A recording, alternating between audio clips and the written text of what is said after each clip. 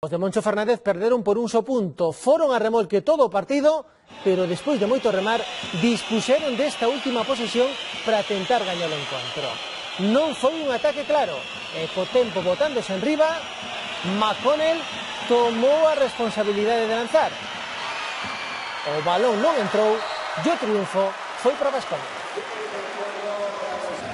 O triunfo escapou por pouco, pero por vez primeira esta temporada o Obradoiro non se lle apagaron as luces contra un equipo grande. Estoy fastidiado porque hemos perdido, lo que tengo que pensar es en todas esas cosas que hemos hecho bien y que seguro que nos van a ayudar a, a conseguir el objetivo final.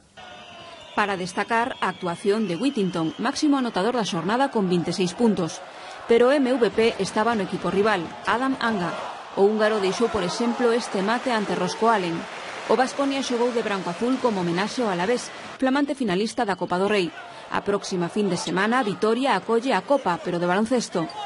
Os santiagueses volveron a perder un partido con final igualado, todo nun choque cun último cuarto trepidante no que conseguiron remontar 10 puntos.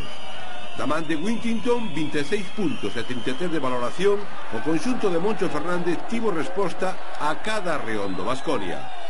O acerto de Wintington engadiuse Vencius, o lituano, tras unha tripla e un tiro libre anotado, conseguía empatar a 77 a falta de 4 minutos para o final. Tras un intercambio de canastas, todo quedou para os segundos finais. A falta de 24, o Obradoiro situábase un punto arriba cunha canastra de McConnell. Bobá, o mellor de Basconia, con Hanga, devolvía a vantaxe aos seus, 87 a 86 a 12 segundos para o final. Moncho Fernández pediu tempo morto.